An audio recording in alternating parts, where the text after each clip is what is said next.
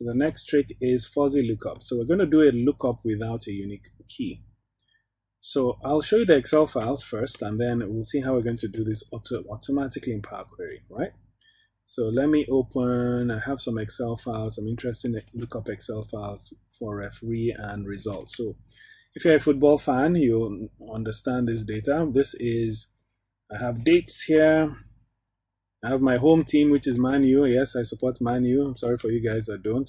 Anyway, um, yes, yes, we're in trouble nowadays, but we'll get back. We'll come out of it. You know, can't be winning every time. Just you have to give other people a chance, right? So anyway, away team is Leicester. So we have home team, away team. We have our home score and away score. Now, anytime we lose, I'm sure it's the referee's fault. So one thing we would like to have is the name of the referee that really uh, manned this whole match is. We need to know the referee's name. I need to know the referee's name here. So where do I get that data? Well, I have another table called referees, which I, all this data is from the internet. We downloaded it. Ahmed downloaded it for us. Check Ahmed out. Really cool.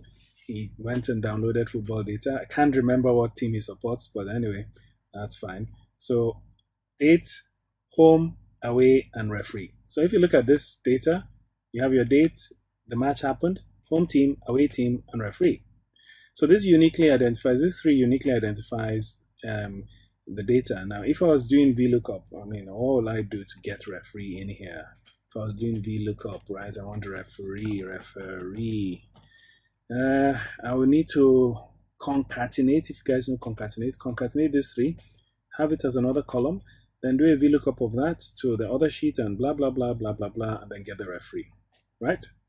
Uh, I'm not going to do that. No, thank you very much. I want to do all this VLOOKUP without a unique reference in Power Query. So let's see how that works. I'm closing this, don't save, and I'm closing this guy. And yeah, I can do it here in Excel. You know, Power Query is in Excel, but I want to do it in Power BI. So I'm back here. So lookup without unique key. How do we do that? Let's go to the query, edit query. So we're going to bring in um, let's just edit query. I'm going to bring in the data, obviously. So, and then we're now going to do some interesting merging. So here I'm going to get data, new source is in Excel. I need to browse, this is the lookup. It's referee data and result data. So let's take the result data and we'll just bring that in. This is my results data. I just tick it and say, okay, bring the result data in let's call it, this is called results, this is fine. Let's bring in the um, other data. So I'll get another data. This is my referee data. Right, so this is referee data and result data. So if uh, in Excel, I could be probably managing this data and uh, um, this data keeps growing, so that's fine. So here I want to combine the referee information. All I need from this is this referee. I just want to add this referee to my results. Yeah, right. So how how do I do that? Let's let's create a new query. So it's like I need to take results starting from results and I need to like group. I need to merge, I need to merge my query. So I'm going to create a merge query, but instead of overriding this query, I want to create a new a query, merge queries, but as new, as a completely new query. So I'm going to merge query, starting with my results. I want to merge it to my referees data. And here I'm just going to do a left outer join. All these fields, see these fields here, all the way here, I'm merging it to this fields here, all these fields, yeah? One, two, three, one, two, three and I'm doing a left outer join, which means this is what I want to join to this one, right? So anyway, let's see how that works. Let's say, okay, so the selection has matched 790 out of 790. This looks cool, doesn't it? That means all the data here is all here. It's already matched it. So this is VLOOKUP, right? So click OK. And what happens?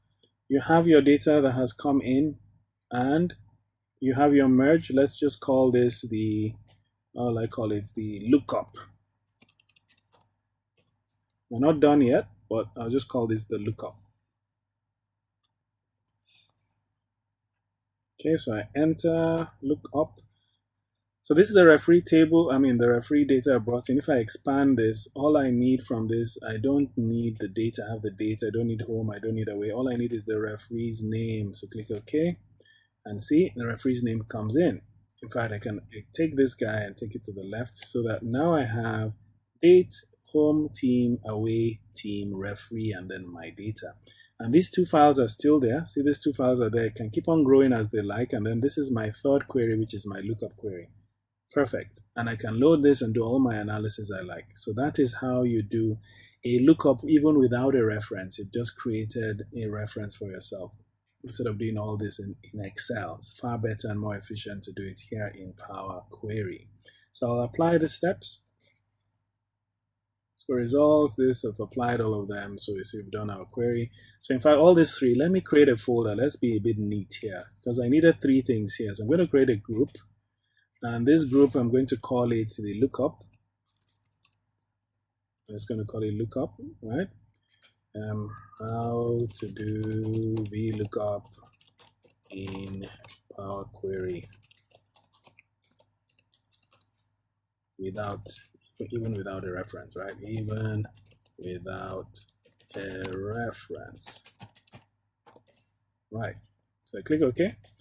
So I create a folder and I can now take these three guys. Uh, I'll just, unfortunately, I can't drag it. Maybe later we can drag, but for now, I just have to right click and say uh, move to group lookup. Right click and uh, move to group, uh, move to group lookup. Right click and move, come on, move to lookup. So this, I'm just being organized, right? So that's lookup. So what's our next, um, what's the next trick?